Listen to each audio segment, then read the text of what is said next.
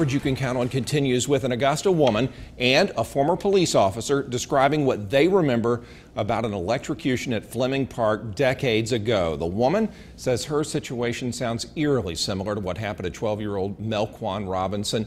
You'll remember he died after he was shocked by a fence at the same park just a few weeks ago. News Channel 6's Ashley Osborne has been following this developing story since young Melquan's death back in October. She's live in our newsroom. Ashley, a former Augusta officer tells you he remembers a little girl electrocuted at Fleming Park years ago. Brad, Crystal Underwood is now in her 30s. She says she was eight when she was rushed to the hospital after being electrocuted by a Fleming Park fence. And when she first shared her story on Facebook, we had our doubts. So we did some digging, and here's what we found.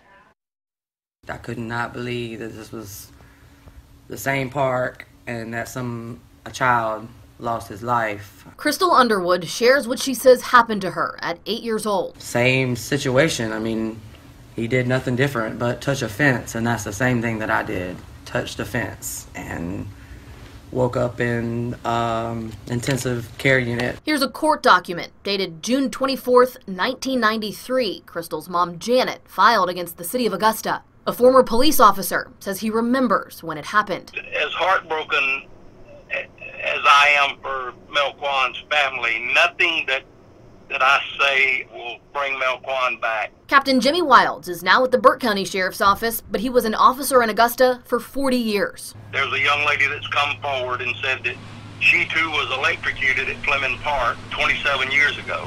I'm here to tell you that her story is credible. I was there. My son played baseball. I was coaching his team, and there was some commotion out behind the center field fence. Of course, being a police officer, uh, even though I was off duty, I run out there to see what was going on because they, they said somebody had been injured. And when I get there, I find a young, uh, small, blonde-headed girl laying in the grass, and, and the best I remember, um, I pulled her from the grass onto the concrete because it was like there was something in the ground that just didn't feel right. I, I remember her laying there, and I was holding her hand, and she had been out of consciousness and had come back. She asked me, was she going to die? And I said, no, ma'am, you're not going to die. And I said, you'll be all right. He says that's when the emergency crews showed up and took her away in an ambulance. And to his knowledge, it never made the news, and that was that. I really never knew what happened to her since that day. Until he saw her story on Facebook this week.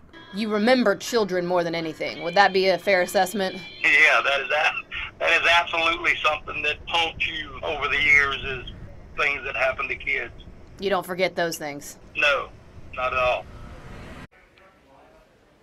We also talked to Tommy Boyles. He was the Parks and Rec director when Fleming Park was built in 1977. He retired in 1997. He tells me he doesn't remember something like this happening when he was director. We also emailed the city's legal department for a comment on this story. They have not responded.